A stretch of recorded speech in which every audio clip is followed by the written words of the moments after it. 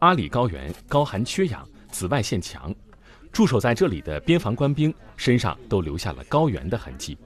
皮肤科主任刘树雷成了医疗队里最忙碌的专家之一。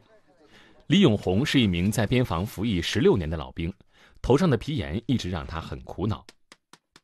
我这个皮肤病十几年来一直很困惑着我。当他们看完以后，给我开了药方，给我打了一针，感觉一下子好得了很多。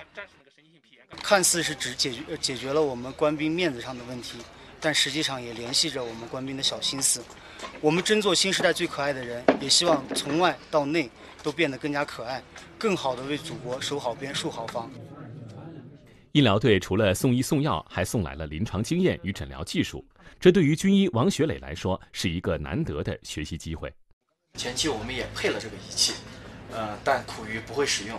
这次给刘主任学了很多这个相关的技术，嗯，后期我们也可以开开展相关的这个医疗工作，这点是我特别开心的。